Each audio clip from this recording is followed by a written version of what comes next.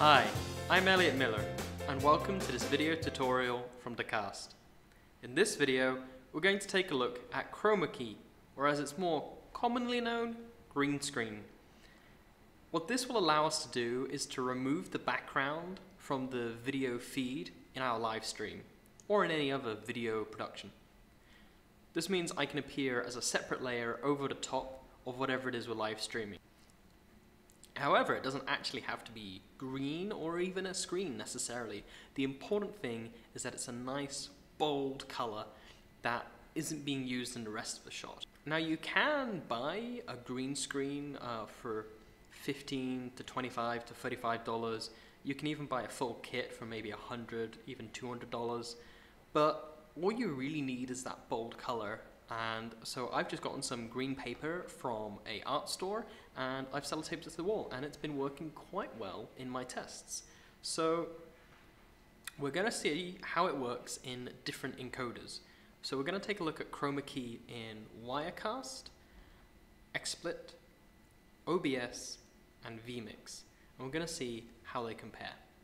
So let's get started with Wirecast. I've got my shot here from my uh, web camera I'm going to right click and go to edit shot. And then down here on the end, this little person is the chroma key configuration. So I'm going to click this and I'm going to click use chroma key. And there we are. It has removed the green as a background layer and cut me out so I'm just here.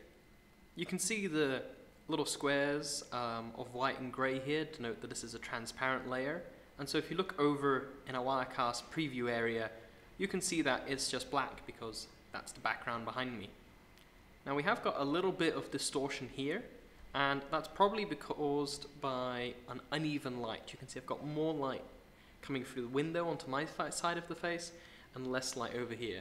Definitely quite a few settings we're having to play here to get the best effect in Wirecast, but still the quality looks pretty good.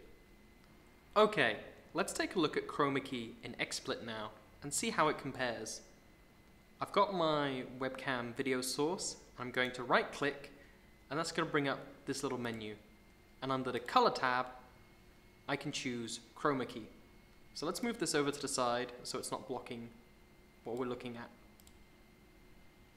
Okay, so it's kind of blotchy. It doesn't look too good. We're getting a lot of variation here. Let me try adjusting my light and turning up the intensity. So we're increasing the light brightness now.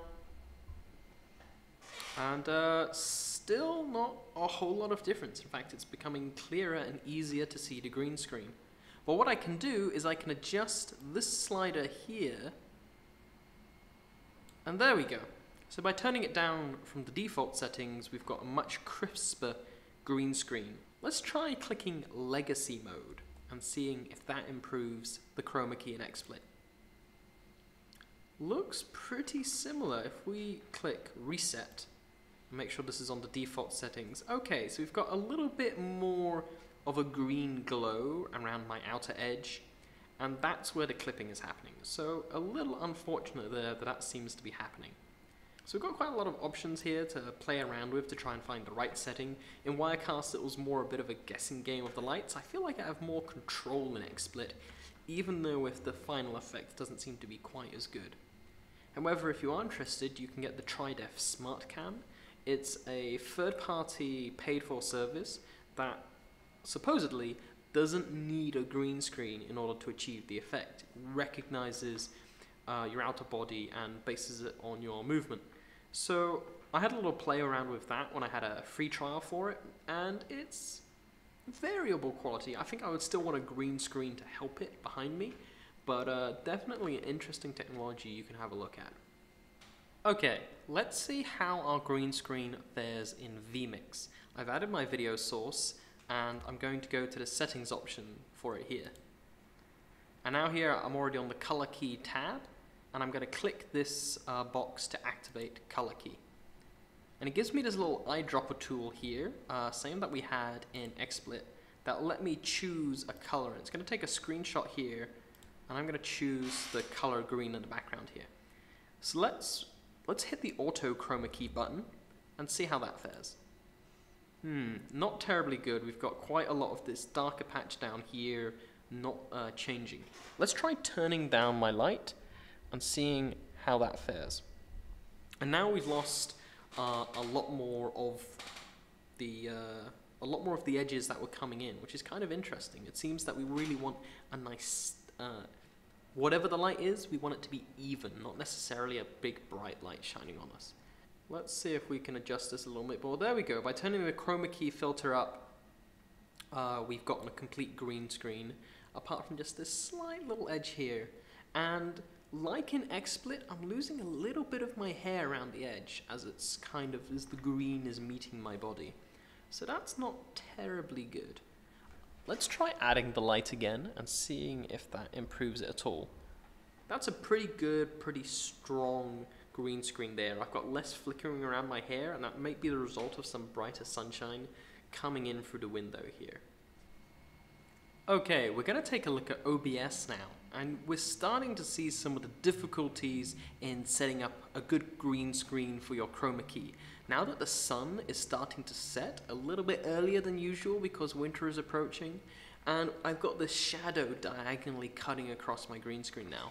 I'm going to use my light, I'm going to turn it up now. This is a pretty bright light I have here. I'm going to see if we can even this out a little bit on its full brightness, but even that isn't quite enough to even out the shadows. So let's have a go with using a chroma key in OBS and see how it fares under these circumstances. So I'm going to right click on the video source, I'm going to go to properties, and we're going to use chroma key. Now it will set to some kind of gray, so it's starting to remove the shadows on my face. So we're going to click select, and like the eyedropper tool, we're just going to select the green that we want. And it is seems to be struggling a little bit there as it's, you can see how clear this uh, shadow is and how much of a boarding that's, board that's creating. And I'm gonna start moving these sliders around and seeing if we can create a stronger effect.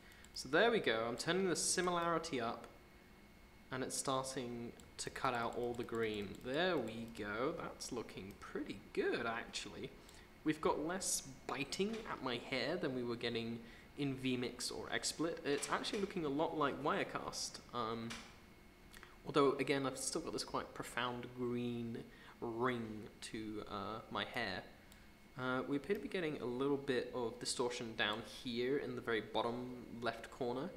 Maybe if I adjust the blend, we can get rid of that. There we go.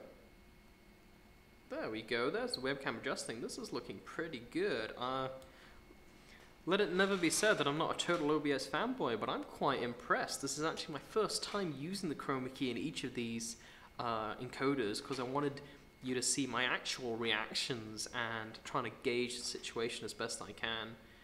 Let's add a little background source here. We'll click OK here. We'll add an image to go in the background. So there we are, there's me actually over a background source and you're starting to see uh, the different effects that the green screen is capable of. And you can see the faint greenness, uh, the faint little crack there, but all in all, this is looking pretty good and I'm pretty happy with it. So thank you very much for watching this tutorial and happy streaming.